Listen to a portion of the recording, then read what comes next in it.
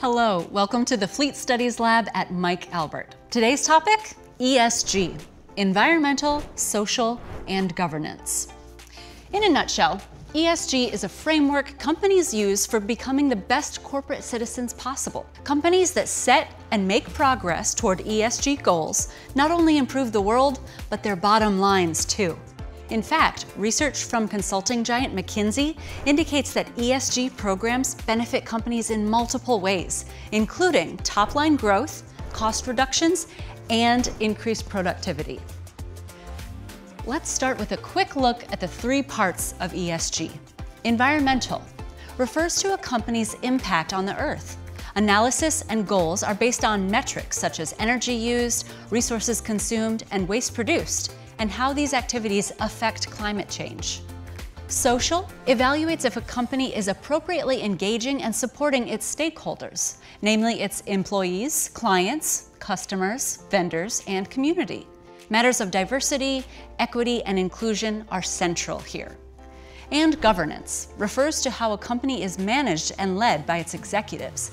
It emphasizes ethical conduct, accurate and timely financial and regulatory reporting, and transparency. In short, ESG reflects a shift in a company's focus from shareholder value to stakeholder value. Now, let's look at the environmental component through the lens of transportation, an area ripe for improvement. The EPA reports that transportation accounts for about 29% of U.S. greenhouse gas emissions. Companies can help lower these emissions via how they manage employee and business transportation. For instance, your company could provide employees with incentives to take public transportation to work, or to engage with car and ride sharing services. Or you could install EV charging stations at your company to make it more enticing and convenient for your employees to own zero emitting EVs. Companies with fleets have special opportunities to further eco responsible transportation. For one, Data and telematics can help your vehicles run more efficiently and idle less, reducing emissions and cutting your use of fossil fuels.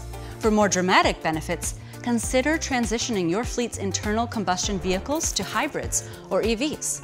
Once your ESG influenced transportation efforts are in play, promote them to help strengthen your brand. A study reported in Barron's magazine noted that nearly 70% of consumers in North America think it's important for a brand to be sustainable.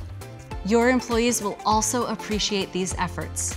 In a study by Cone Communications, 70% of all employees and 83% of millennials feel more loyal to a company that helps them contribute to caring for the environment. Want more information to help with your ESG planning? Contact us at Mike Albert or check out the ESG focused content at our Fleet Studies Lab on mikealbert.com. Thanks for viewing. See you next time.